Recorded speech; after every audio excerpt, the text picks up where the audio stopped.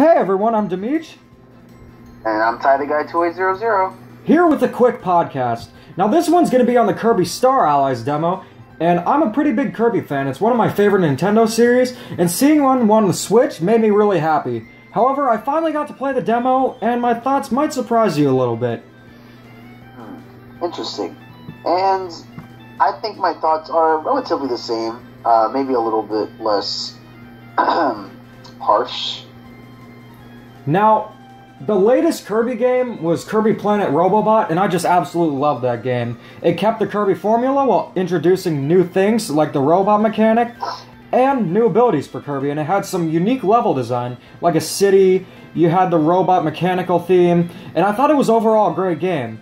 Now, going from Kirby Planet Robobot to Star Allies, I hate to say it, I know I'm gonna get a lot of flack for this, but it just felt uninspired. Sure, the game looks beautiful, but Robobot ran at 60 frames per second without the 3D on.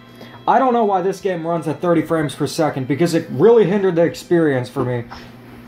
I, I think uh, the main reason is because um, the majority of the game is you playing with four other either CPUs or four other friends, and I guess in order to um, try to keep everything on the screen running at a smooth rate, they lowered it to 30 frames because uh, I'd imagine whatever engine they're using, uh, if there's multiple characters on the screen at one time, the 60 frames would kind of dip um, it didn't bother me that much. I did notice it a lot, and at first it was kind of jarring, but after you play it a little bit, I think it's okay.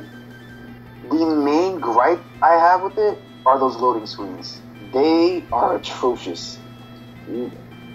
That's it's it's unexcusable at, at, at the least. Like it completely breaks up the pace.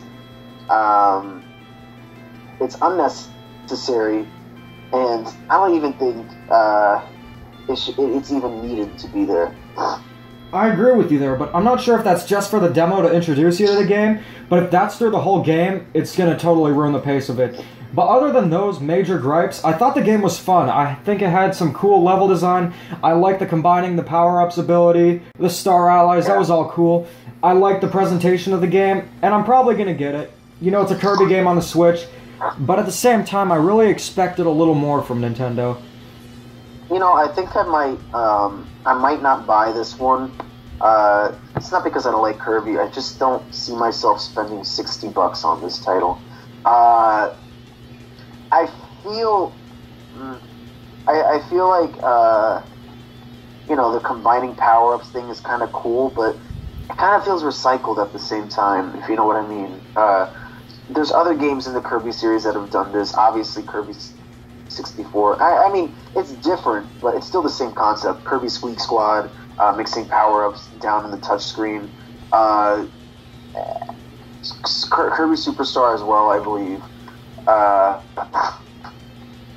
I don't know. I haven't. I'm gonna be truthful with you. Uh, I haven't been crazy about any Kirby games since uh, Return of Dreamland. Kirby, no, I, actually, I, I didn't even like Return to Dreamland that much. Uh, Triple Deluxe? No, I wasn't crazy about that one either. Squeak Squad? It was probably no, it was probably since uh, Superstar Ultra. Um, that's that's a really high bar, and I don't really expect them to hit that anytime soon. Again, Triple Deluxe is a good game. You haven't played Robobot then? I I, ha- I haven't. I haven't. I have yet to play that one. Uh, but I don't know. I just feel like it's it's every time I see Kirby, it's the same. Nothing really changes, and whether that be for the better, or for the worse, um, there was kind of a reason why I was saying I wanted to see a uh, 3D Kirby game. And you know what? After playing the Star Allies demo, I couldn't agree with you more. But overall, I gotta say the demo was not good, but not bad either. It's a game that I'll definitely consider getting, but at the same time, it's just very samey to me very recycled, and I'm kind of disappointed about that. But if I had to rate the demo, I'd give it 5 out of 5, average. Um, I'll give it one more higher. I'll give it a 7 out of 10. I didn't think it was that bad. But, that would be uh, yeah. two more higher. It was average. 5 out of 5 is average. Not good, not bad.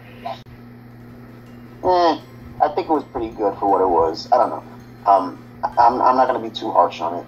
It's just a demo. I will I will grade it as is when the full game comes out in a few weeks. Well, anyways, that about wraps it up. I'm Demeech. I'm Ty the Guy 2800. Peace.